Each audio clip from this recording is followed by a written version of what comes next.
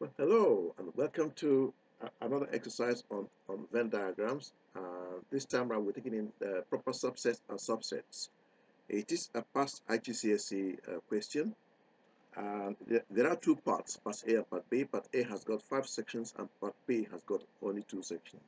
So we start with part A and that says we've got 25, 25 students in a class and F stands for French students and S stands for Spanish students and the number of French students in total is 16. So number of students who study French is 16 and the number who study Spanish is 18. Now two students do not study either of these subjects. So now we're supposed to find to complete the Venn diagram to show this information. Uh, this is a Venn diagram. Okay. Now, clearly, my starting point has got to be uh, this one here, because we know that two students do not study either of these subjects. So, in there, we're going to have two. Right. Now, for F intersection S, we don't know. So, putting X there. Now, over here, we want to find the number of students who study just uh, Spanish only. So we do 18 minus x. And over here, we want to find the number of students who study uh, just French. So that's going to be 16 minus x. Now together, all of these, if you add up to 25, so we've got 2 plus 60 minus x plus x plus 18 minus x equals to 25. This this x is cancel out. So we now have that 36 minus x is equal to 25, in which case x is equal to 36 minus 25, and the answer is 11. So we've got 11 there. Right. Now, if x is 11, the number of students who study just French will be 16 minus 11 and that's going to be 5 there. And similarly the number of students who study just Spanish is going to be 18 minus 11 and that will give us 7 there. Now section 2 says find the number of students who do not study French. So F prime so that's going to be this 7 here who studies just Spanish, and these two will study neither French nor or Spanish. So we get answer 9 there. And for section 3, it says the number of students who are not in this section, F intersection S. So we know that F intersection, intersection S is 11. Okay, so the number of students, so n f intersection s prime is going to be 25 minus 11, and that's 14.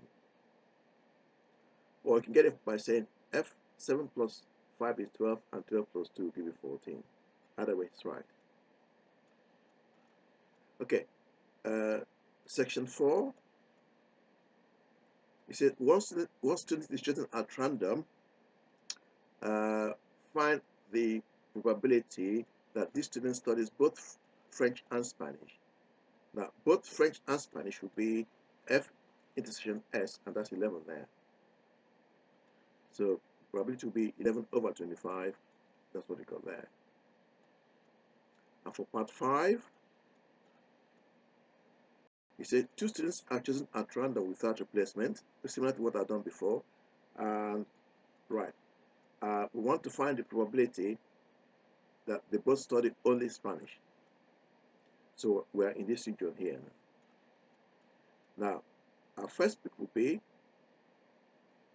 7 over 25. Now, having picked at the first student, we now have only 6 who just study just Spanish and only 24 students left in the class now. So for the second pick, probably to be 6 over 24. For the first and second pick, it could be 7 over 25 times 6 over 24 And the answer should be 42 over 600. And if you cancel that, you get 7 over, 7 over 100. It doesn't matter if you leave your answer as 42 over 600. That is acceptable. Okay? Now, for the next slide. Okay, now, this is um, part B of the question. And as I said earlier, part B has got uh, two, sorry, got, got two sections. And it says, in another class, the students all study at least one language from French, German, and Spanish. And no student studies all three languages. Okay. Uh, the set of students who study German is a proper subset of the set of students who study French. And four students study both French and German. And a total of 16 students study French. Okay. Now, this is my G set or my German set. And in my German set, I've got student A, student B, student C, and student D. That's my German set. And this is my French set. Now, in my French set, I've also got the four students who study German. So that is a proper subset of F, of set F.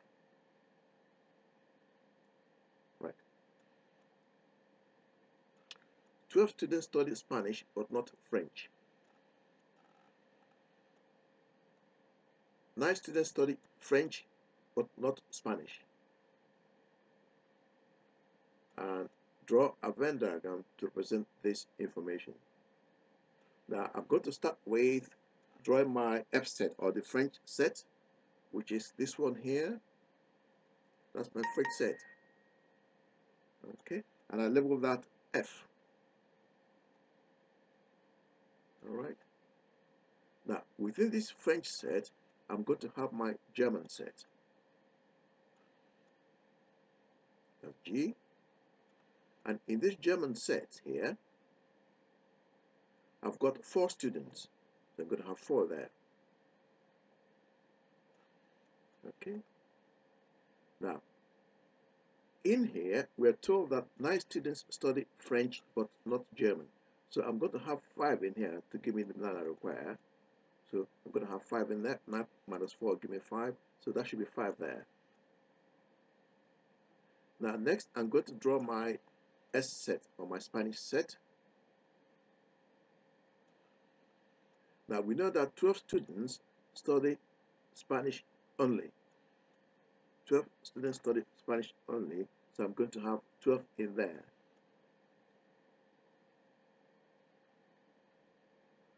We also know that 16 students study French. So that, that will include the 5 and this 4 here. And to make 16, that's good to that's good to be 7 in there. To make 16, 9 plus 7 give me 16. So 7 students study both Spanish and French. Okay, now section B, and it says Find the total number of students in this class. Now, obviously, that's going to be uh, a 12 plus a 7 plus a 5 plus a 4, and that gives us 28 students. Now, I hope all that made some sense. Please, please subscribe, and thank you for watching. Bye-bye now.